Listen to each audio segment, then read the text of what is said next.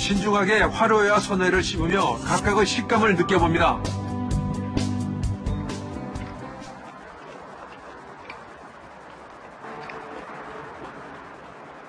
화로 같은 경우에는 이렇게 바로 씹게 되면은 약간 비릿한 맛을 느낄 수가 있어요. 근데 선어 같은 경우에는 먹었을 때 비릿한 냄새보다는 약간 그 감칠맛, 감칠맛을 느낄 수가 있고 또 우리가 이 씹게 되면 쫄깃쫄깃한 맛을 즐길 수가 있기 때문에 에, 맛이 차이가 조금 월등히 많다라고 볼 수가 있습니다. 우리는 화로가 쫄깃할 것 같다는 잘못된 선입견 때문에 선호회를 외면하고 있는 것은 아닐까요?